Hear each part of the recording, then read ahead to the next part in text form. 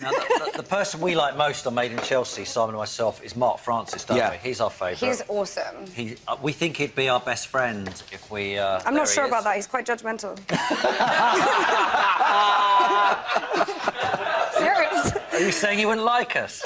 Yeah. I'm well. No, I don't know. Get him on. Well, well, we've tried, but he's always too busy. Yeah, he travels so much. Um, but he said something on the show once, and it's absolutely fascinated me. He said to one of uh, one of his uh, friends, his teammates, he said, uh, "Eat half, eat a half, but leave a third. That's what you got to do with your dinner. Don't eat too much. Eat a half." Leave a third. Right, yeah. He's- He said his granny had taught him that, It's- and it's stuck in my mind that because I just assumed you eat what's on your plate, but he says no.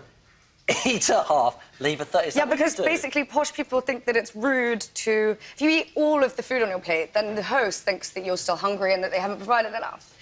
I eat everything. You can't do maths. If you eat a half and leave Can't a leave a third, third. you do the opposite. I mean, hello. eh? If I could do maths myself, I'd Yeah, tell you no, what that was does left not... over. Sorry, yeah, I'm being slow. What am I doing now? Eat more than a half and leave a third. Is anyone else too correct? I correct? don't understand what that means. What, leave a third of the other half? It was much If you- if you're eating a half, well, isn't that, le- isn't that more than a third? That's such a small dinner. I think you should just eat everything that's on your plate. You eat half of it, and you make sure that Just you eat it.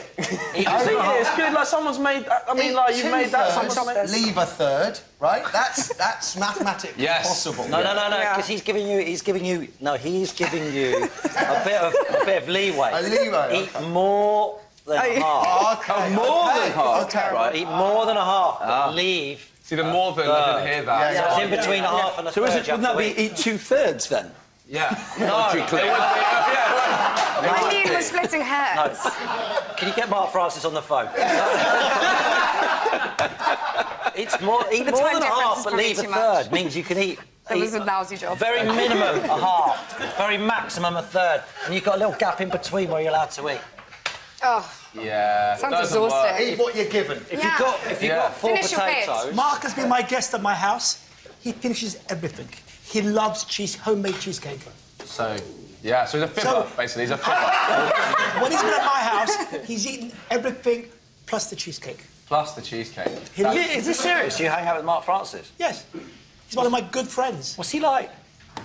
You know, when you're one, when you're one to one with Mark, he's normal. He's super, super intelligent. Yeah.